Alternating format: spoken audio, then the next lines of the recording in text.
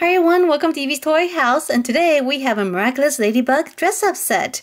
So it's too bad this came out after Halloween, but this looks super cool. So if you like to dress up as Ladybug, this is a great set to get. It comes with a mask, we have your yo-yo, we have the earrings, the Miraculous, we have Tikki, and take a look, we even have an Akuma. And it says this one changes colors. Here is the back of the box. It's so pretty. And we have a new picture of Ladybug. A lot of these packages reuse the same image over and over again, so I think it's cool that this one has a new image. Alright, let's get it out of the box and check it out.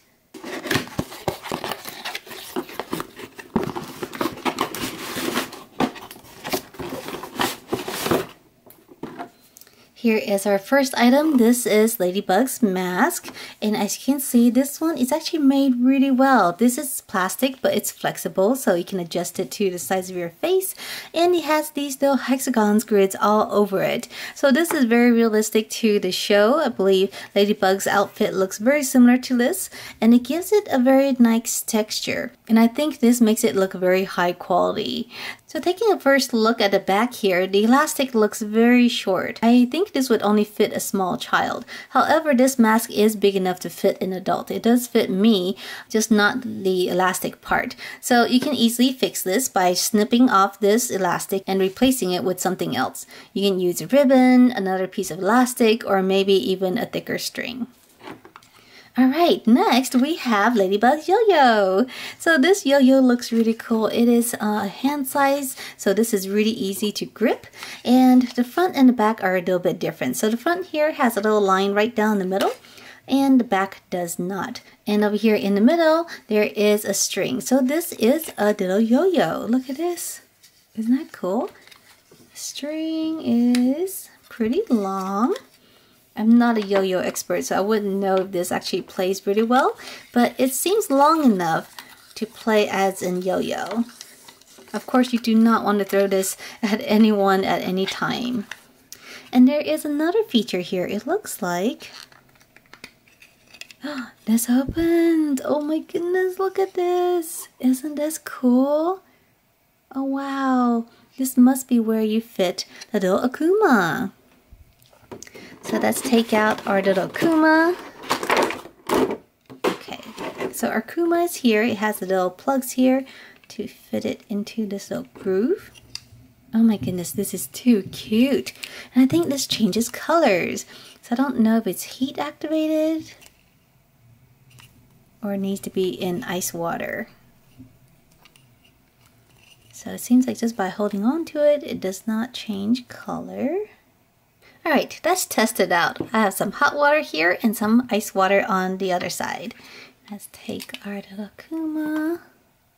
Oh, look at this. It turned white.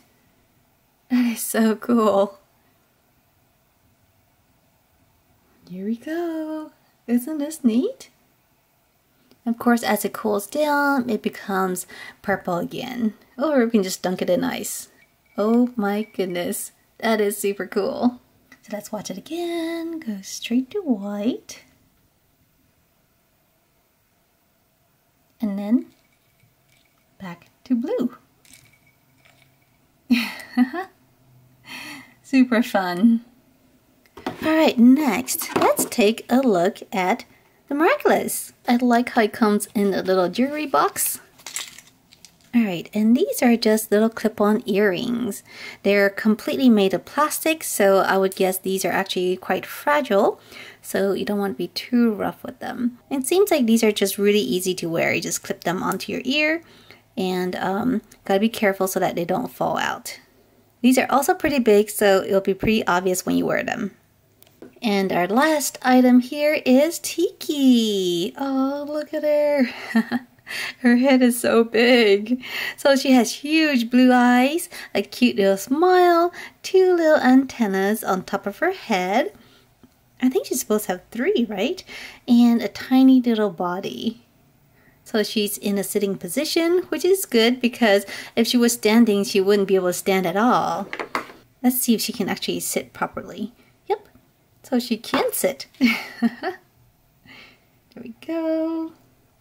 And she looks better than the previous Tikki. So this Tikki came in the previous playset. And as you can see here, she doesn't look as cute. I think this Tikki looks more like the one in the show, whereas the other one is a little bit more uh, serious looking. However, take a look. This Tikki is missing some spots. So she has two spots on the sides of her head and I think she's supposed to have a tail too.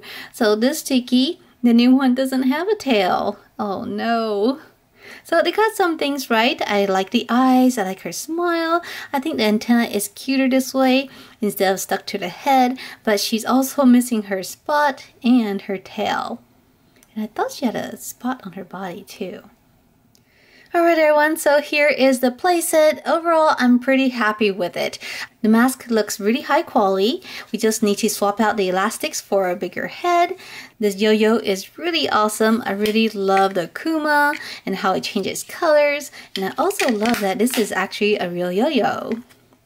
The earrings are okay. Um, they're not uh, made with the highest quality. It does seem pretty loose.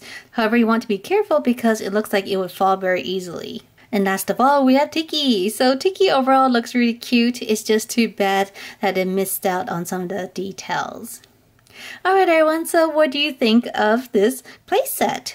Let me know down below in the comment section, and I'll see you next time. Bye!